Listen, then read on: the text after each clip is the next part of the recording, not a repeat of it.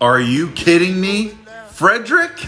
The best front office in baseball does it again. Freddie Freeman to the Dodgers, six years, 162. It was too expensive for the Braves, so the Dodgers will gladly take him. Check out this lineup they're gonna have.